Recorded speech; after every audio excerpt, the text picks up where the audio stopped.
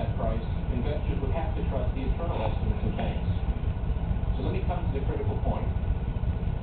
I believe that under the Treasury program, Yay! Good job, Max. Good job.